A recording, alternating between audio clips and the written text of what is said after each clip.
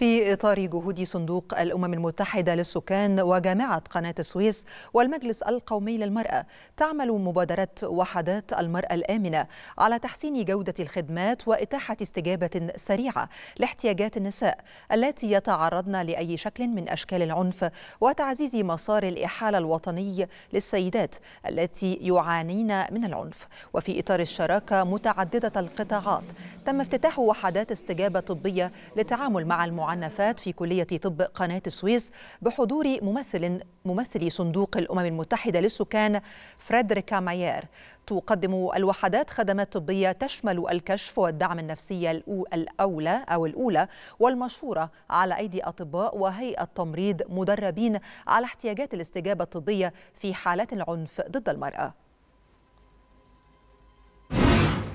النهارده بنحتفل بافتتاح أو اطلاق العمل الفعلي في عيادة المرأة الآمنة داخل جامعة قناه السويس.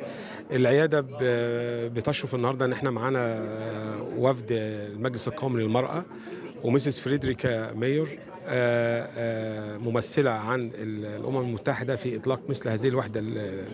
الوحدة حضرتك ضمن الوحدات اللي بتطلق داخل الجامعات المصرية والمستشفيات الجامعية لتقديم خدمات صحية ونفسية ومجتمعية. النهاردة افتتاح الوحدة رقم 10 من عيادات المرأة الآمنة على مستوى الجمهورية أول تعامل مع جامعة قناة السويس وجود في الإسماعيلية.